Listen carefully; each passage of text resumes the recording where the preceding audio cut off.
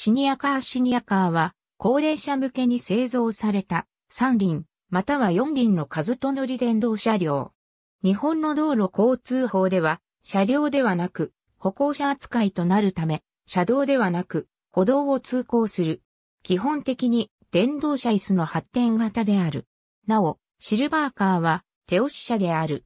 高齢者の間でゲートボールが流行していた頃に電動車椅子を製造していた鈴木株式会社がコートまでの移動手段として発売したものが始まり、運転免許証は不要で自動車の運転経験がなくても楽に扱えることから歩行に難儀している高齢者に歓迎されて広まった。福祉用具とされているため、購入にあたって消費税は課されない。日本工業規格ではハンドル型電動車椅子、道路交通法では原動機を用いる身体障害者用の車椅子との故障を使っている。製造メーカーあるいは販売店によっては電動カートという呼び方も存在する。ちなみに欧米でも電動車椅子の製品は多く販売されており、ハンドル型はパワースクーターというキーワードで検索できる。原動機を用いる身体障害者用の車椅子の法的要件は、道路交通法施行規則第1条の4によってと定められており、これを満たす製品は国家公安委員会の形式認定を受けることもできる。また、JIS では当初電動車椅子内での扱いだったが、多発する事故に対応して、経済産業省は2008年12月に個別の基準を制定し、この時、ハンドル型電動車椅子という故障が採用された。外観の特徴として、車輪の大きな車椅子ではなく、原動機付き自転車に似たハンドルとミラーを備えているので、道路交通法上の車両の一種と誤解されやすい。対人、対物損害賠償保険への加入義務がないため、事故が起これば、高額の損害賠償を支払わざるを得なくなる。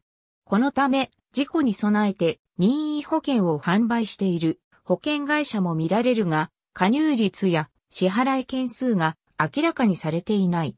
また、販売店によっては、購入時に1年間の保険加入をつけている場合もある。道路交通法第2条第3項第1号 E ガブ2020年1月10日閲覧。企画番号ジスト9208道路交通法施行規則。E ガブ2020年1月10日閲覧。